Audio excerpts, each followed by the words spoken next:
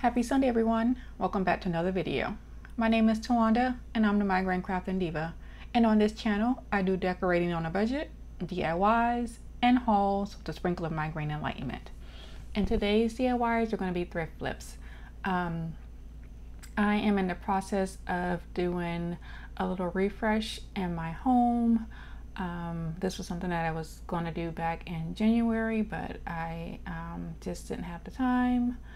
So um, the next couple videos will be just um, me doing um, some refreshes and some thrift flips on some items to um, do just a little refresh for my house.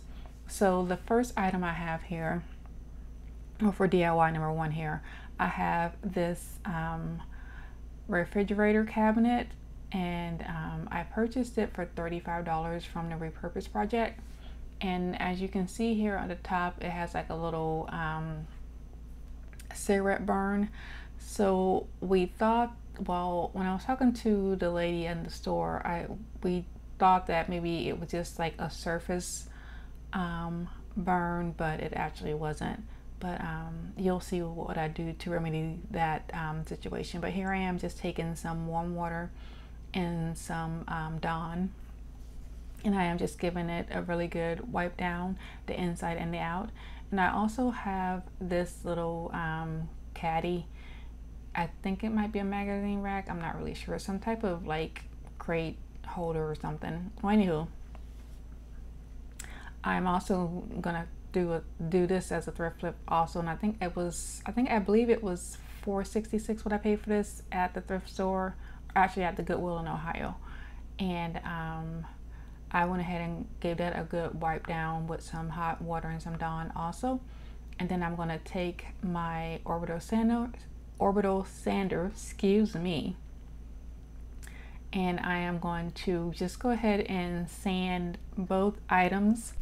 So I'm going to start off by sanding the um, the white clad uh, refrigerator cabinet or icebox icebox cabinet with um, some 80 grit sandpaper and um, this is what it looks like after I sanded with the 80 the 80 grit sandpaper and then I used the 180 grit and then I moved on to 220 and I still wasn't able to remove the cigarette burn.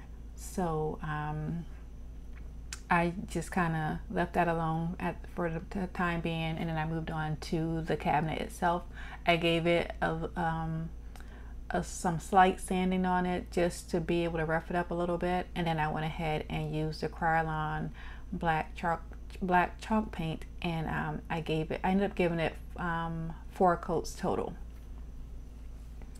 So here I am just um, painting it.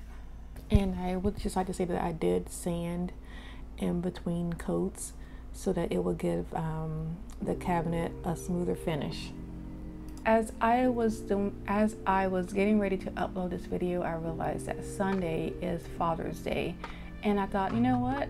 Both of these items that I am um, flipping today are both items that could be given to um, a dad for Father's Day. Because this is a ice box refrigerator cabinet, and this will go perfectly in um, a man cave and also the next thrift would also go perfectly in a man cave. So um, um, this this wasn't a Father's Day video, but I would just like to say um, Happy Father's Day.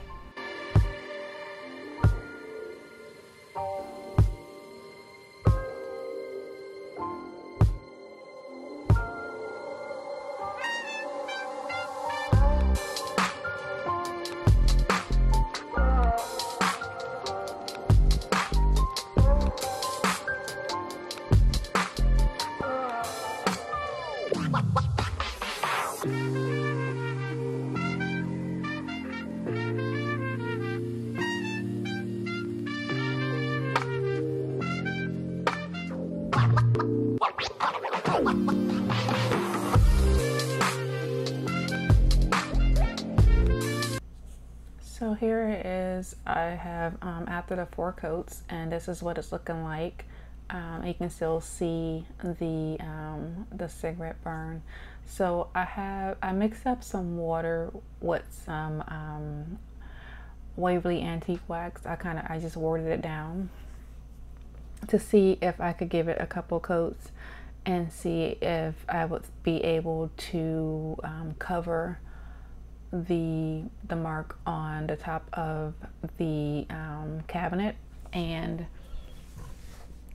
I wasn't able to so then I decided I was going to um,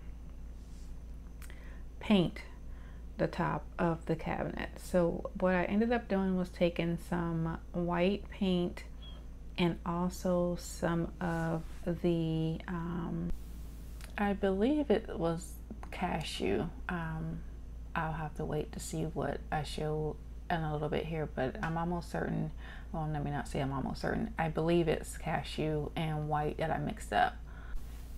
So basically what I did was I just took some of the white, um, Waverly white paint, chalk paint, and then the Waverly cashew paint. And I kind of just went back and forth.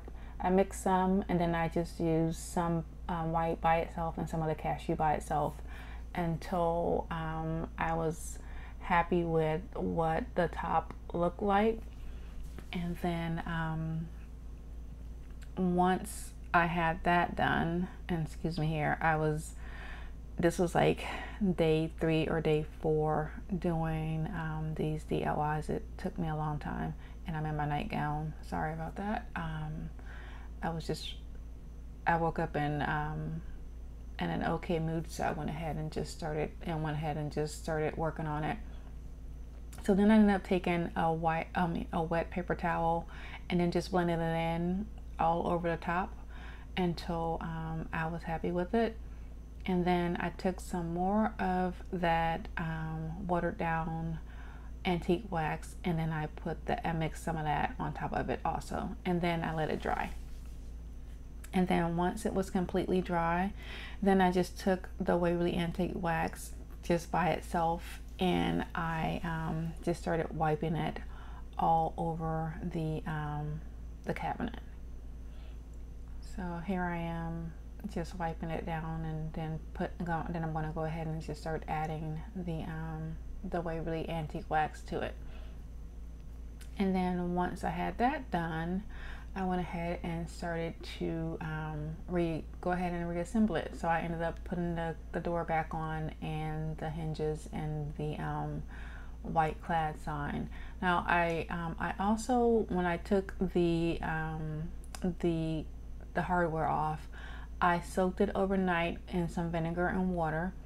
And then um, once it soaked overnight, and then I took some um, baking soda. I don't think it was baking soda. It might have been baking powder. I can't remember. But um, I took that and I just um, started to scrub with that. And the the hardware is gorgeous. It came out so nice. I, I was just so excited when it came out. So I think I'm actually going to end up doing that with um, my bedroom furniture because we our bedroom furniture is like a 1940s or 1950s set that I purchased from um, the um, Rose uh, Roses, the little um, thrift thrift store that I shop at here in my town. Um, we purchased that when we first bought our home almost seven years ago. So I think I'm going to try and soak the hardware and see if I can get it back to its original color. But um, here I am just going and adding that um, Waverly Antique Wax and I'm just going to add it until um, I'm happy with the what it I, until I'm happy with um, what I see and then once that's done, that'll be it for this DIY. And look at it. I think it turned out so nice. And you can barely see um, that spot on the cabinet. So, um, and then once this was, once I finished all of this, I went back and I gave it, um, I sprayed it with the Rust-Oleum matte clear enamel um, spray and I gave it, I believe I sprayed it three times um, the whole cabinet. And then once I did that, that was gonna be, that was it for this DIY.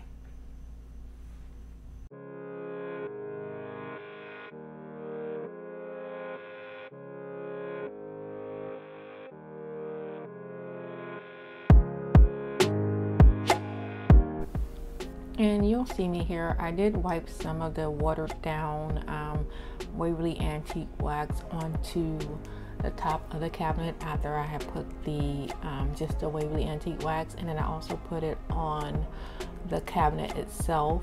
Um, here I am doing that now.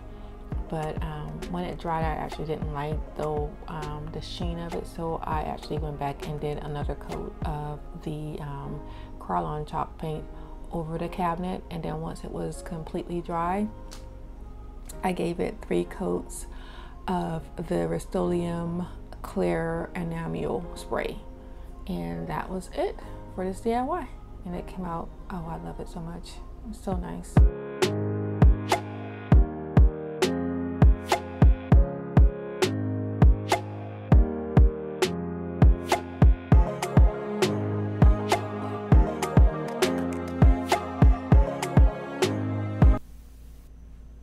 So here is the hardware. Look at how nice that turned out. Like it is so pretty. Um, I was so happy with the way that it came out. Um, so I'm going to go ahead and insert a picture of what it looked like before so that you can see the difference. And uh, it's, it's night and day. It really is.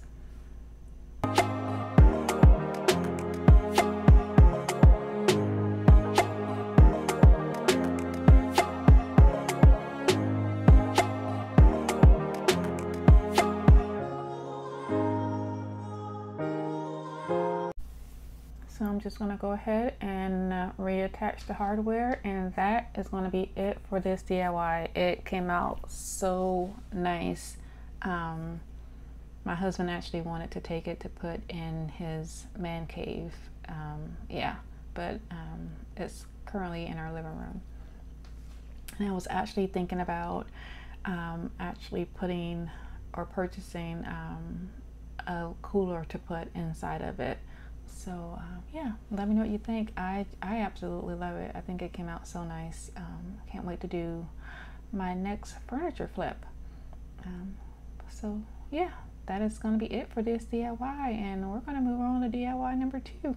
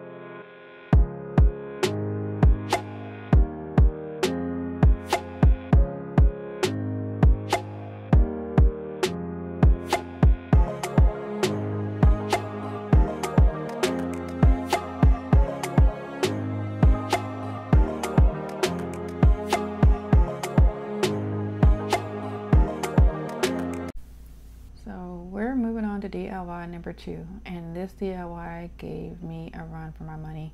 Um, so here I am trying to sand it down, and um, I was getting nowhere. I don't know if they just painted over the wood and then sealed it, but I tried all anything that I, I tried all types of stuff trying to get it sanded. It took me forever just to get the front of it sanded.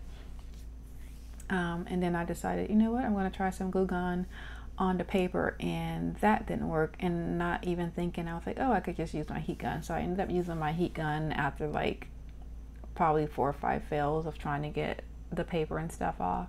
Um, so I ended up using the heat gun and it came off just fine. So I did that on both sides because the sides both had stickers on them and then the um, the the longer panels have paint so I was able to get the one side completely um, to get everything off, but it just took forever. Like it was taking me hours to try and get all of the paint off. So I ended up um, scrapping what I was going to do and um, doing something else. I believe this might be a toolbox, but I'm not really sure. So here I am. I didn't have my glasses on and I thought that I had picked up uh, some black paint and it was actually gray and I was like, you know, I'm just going to use it anyway. And I thought, eh. So then I ended up going and getting my um, my black chalk paint. So, um, and then I went ahead and the Krylon black chalk paint, excuse me. And then I went ahead and I gave it two coats of black chalk paint. And then um, once it was completely dry, I gave it two coats of um, the Waverly white chalk paint. And then I let that dry. Um, I believe, I'm trying to remember, I so here I'm just telling you that I did two coats of the white and two coats of the black. And then once they were completely dry, um, I took, um, I, I printed out, I did, um, this, on this DIY I'm doing the reverse um, transfer technique. So I printed out um, vintage vinyl because this is where we actually keep our records at. And it was it looked kind of weird having the records in there with um, it saying like strawberries on it. So here what I'm doing is I just wet the um, the paper and I'm just tearing it. So then I just started to just use my finger. It was just much easier. And then once it was wet, I just tore it. And then um, once I got it to the right size that I wanted, I then took some of the Mod Podge and I'm using matte Mod Podge also. Um, I took the Mod Podge and I just put a thin layer on the paper to um, to kind of glue them together so that I could have like an even um, the words will the, the, words will line up. So um, here I am you'll see me doing that here shortly. And then once I did that I let it sit for a little bit and let it dry.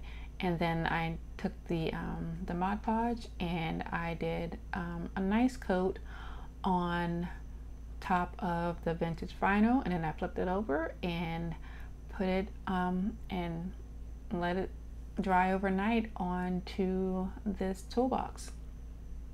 Now our record um, holder. So um, yeah, so once it was dry the next day and I couldn't sleep so I was up pretty early that day and um, I actually went ahead and just, I probably should have waited a little bit longer but um, that I think I was up at like four, four or five o'clock that morning. Um, I had a migraine, so I also had my little, um, well, you'll see in a little bit here, but so I was up um, trying to prepare myself for work. I, um, when I have migraines, I have like certain things that I do before I go to work in the mornings. So um, here I am just applying the Mod Podge and I'm going to flip it over. And then, so once it's completely dry, I took some um, some water and a napkin or a paper towel, whatever you want to use, and I just kind of lightly, um, actually not lightly, I I went ahead and just wet the paper, and then I used a napkin and kind of rubbed it to um, remove the paper so that the um, ink would stay on the um, the um, toolbox here. So here you'll see the process here. So here it is all completely dry and I have my water there. And I was gonna start off by using my, my hand, but I was just like, ah, this is probably gonna take too long. So then I just stamped it with the paper towel and then I just started to rub. And um, there were some areas that I rubbed a little too hard, um, but I still think it came out really nice. So um, yeah, so here I am and I think I poked my head around so you could see that I have my um, Cefaly on. I was using that to kind of help. I wear it for 20 minutes when I, in the mornings when I have migraines. Actually, I wear it for 20 minutes every day, but um, I usually wear it a little bit longer when I have a migraine. So here I'm just kind of wiping it off, and as you can see, it is coming out really nice and there are some spots where like I said I wiped a little too hard and I took off some of the letters but I still ended up liking the way that it turned out so once I had it um, once I was satisfied with that and I had all the paper removed I took the Waverly um, the um, the watered down Waverly antique wax that I have in my little jar and I went ahead and I um, applied it to the rest of the the toolbox here. So the watered down Waverly was a little too light, so I went back over everything with um, just the Waverly Antique Wax itself. And that was going to be it for this DIY. And I believe today is going to be a year that I've been doing uh, YouTube. And I would just like to thank everyone who has subscribed to my channel and continue to watch me every Sunday. And if you're new to my channel, I would like to say welcome. And I hope that you um, like my channel and will subscribe. And that is going to be it for today's DIYs. If you like what I'm doing, please like, share, and subscribe. I would greatly appreciate it. And like I always say, be nicer, be kinder. God will love you for it. And I hope you have a blessed day. And I will see you next Sunday. And goodbye.